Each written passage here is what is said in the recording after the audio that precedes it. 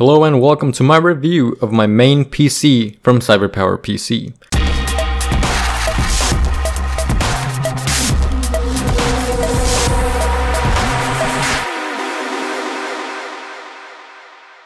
If you haven't already, please check out the unboxing I did on this PC where I show you everything that came in the package and don't hesitate to comment any question or suggestion below. Let me just get this out of the way since I know people will comment about it.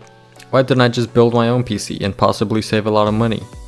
Well, in short, I don't know how to build a PC and I don't really know everything that goes into choosing the parts and assembling them. I'm actually learning how to do that kind of stuff as we speak. I also decided to buy a pre-built PC because it came with warranty. If something goes wrong with it, I don't have to fix it which is a big deal since I'm at school or doing schoolwork most of the time and I wouldn't have the time for that kind of stuff. I promise that if I decide to get a new PC, I will build it myself. But that's that'll be in like what, 2 or 3 years? I'm planning on keeping this one for a long time. Now I chose all the parts in this build so if you plan on buying one exactly like it, I'll try to put all of the specifications in the description below. Also, if I say that I got this processor or, you know, this thing, but I but I probably made a mistake, just check the description below, that's gonna have all the correct information. Let's start off with the looks. For the case, I chose the NZXT S340 Elite in white because nothing looks as clean as a white and black color scheme.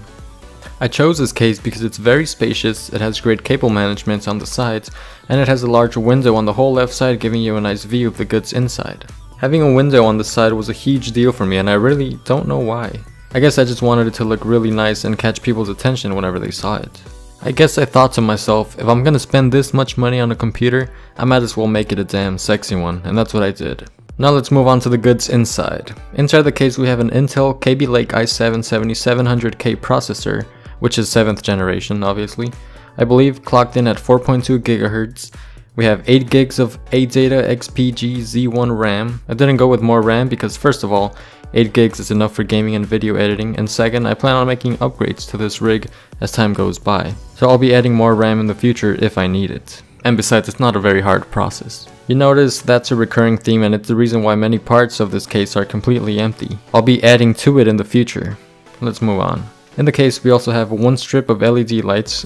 They're magnetic, so I can just pull them off and reposition them whenever, whenever and wherever I want, as long as the cable reaches and it doesn't block a fan or anything like that. They were actually on the basement of the case, but I didn't like the light there, so I put them on the side instead.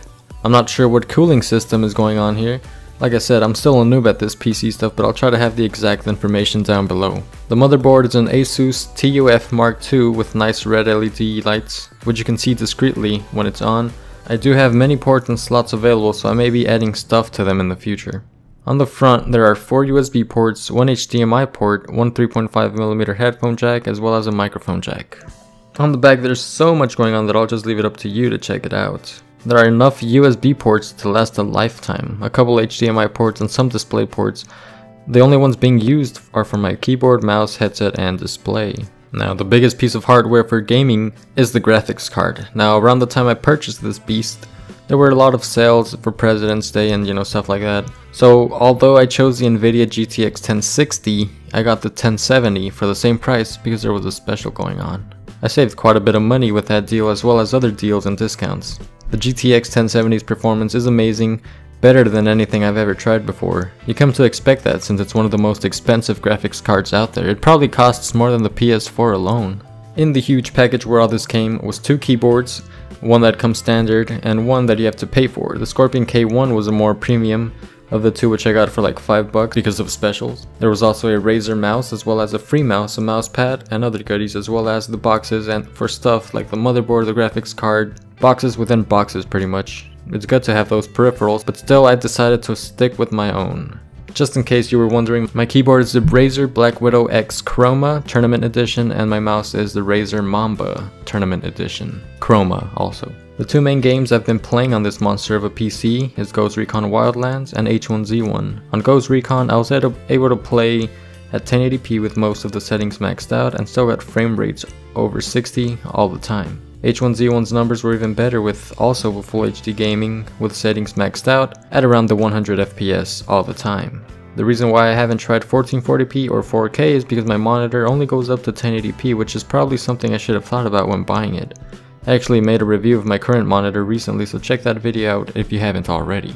From what I've heard, you can play most games on 1440p with high settings on the 1070, but if you want that fluent 4K experience, you'll have to go with the GTX 1080, which might cost $100 or more. I also have 1 terabyte of storage, but I'll be upgrading that in the future. I might add some a few S SSDs um, when I learn how to do that. The experience I've had with this PC so far is flawless.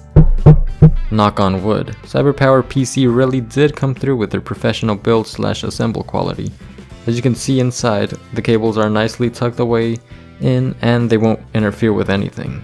Gaming has been extremely smooth like I said earlier. By the way, tell me in the comments below what games I should play on the PC and I'll try my best to give them a shot. Editing, which was also a main reason why I got the 1070, has been flawless with the Core i7 coming in clutch in the rendering process. Each video I make is around 5 minutes long, I record in full HD at 60 FPS, and the videos render very fast. I'll try to make the jump to 4K in the future. I'm sure this rig can handle it just as well. Basic computer use like browsing the web, watching YouTube videos, Netflix has also been perfect. You can watch videos and movies in 4K without a single hiccup.